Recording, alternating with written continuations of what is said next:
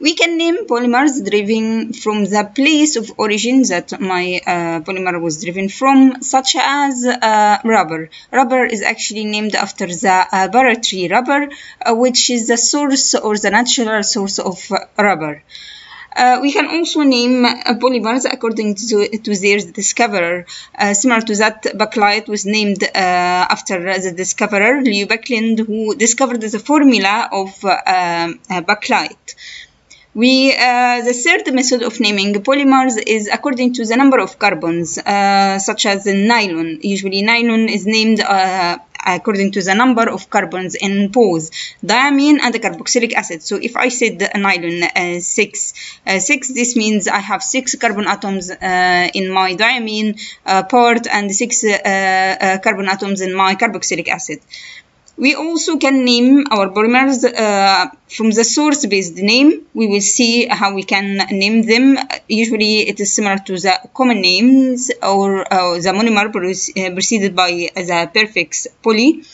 Uh, or the structure-based name according to IUPAC, uh, linkage-based names uh, similar to that uh, like as in uh, polycarbonate and polyesters. Now let's focus on the source-based names. Um, common names of some monomers, we will proceed them by the prefix poly. So if I started with something like styrene, so now I have one phenyl ethene. This one phenyl ethene, the common name is styrene. This is why when I form the polymer from styrene, I will just um, preceded by the word poly and name my polymer according to that. So I have polystyrene from styrene. Now, if I started for, uh, from monomers such as methyl methacrylate, I would name my polymer to be polymethyl methacrylate. So this is the methyl methacrylate and this is the uh, polyform of my uh, polymer. Now, uh, for ethylene, we usually name uh, put the word poly as well, so polyethylene. Now for polyvinyl chloride, it is formed from the vinyl chloride and from here you could see that the vinyl chloride, we break the bond, the double bond and we form our polyvinyl uh, chloride. So now for naming uh, uh, on the source-based uh, polymer bases, now if I have copolymer instead of uh, uh, just one type of monomer, such as polystyrene or polyvinyl alcohol, polyvinyl chloride, now I have two or more monomers. Uh, this is when I start to name my polymer by uh, adding uh, the uh, first monomer, then I will put like a linkage between both of them, dash, co, dash, then I would name my second polymer. so if I have a copolymer of polystyrene with methyl methacrylate, I would just name my polymer poly, then styrene, I will put dash co dash methyl methacrylate.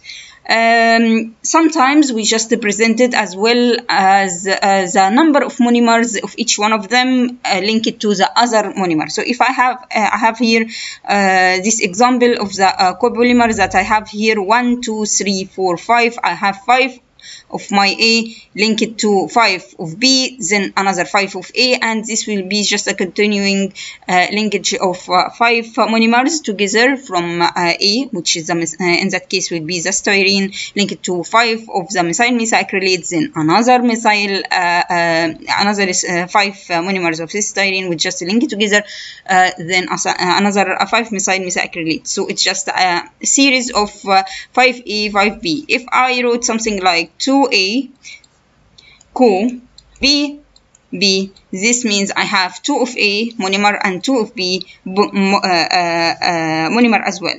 So according to the number of monomers, I just can name them and to indicate that my copolymer is a mix of how many monomers of A and how many monomers of B.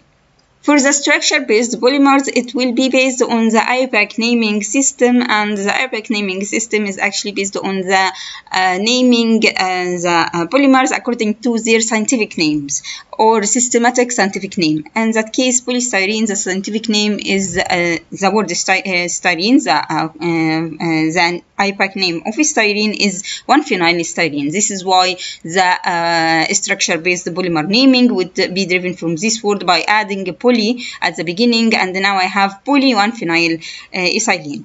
Now for methyl acrylate the scientific name is uh, for the monomer is 1 methoxy carbonyl 1 methyl ethylene. This is why when we do, uh, uh, when we form the monomer we will just add the uh, prefix poly at the beginning of my naming and my polymer um, methyl acrylate. another way of the structure naming would be poly 1 methoxy carbonyl 1 methyl ethylene.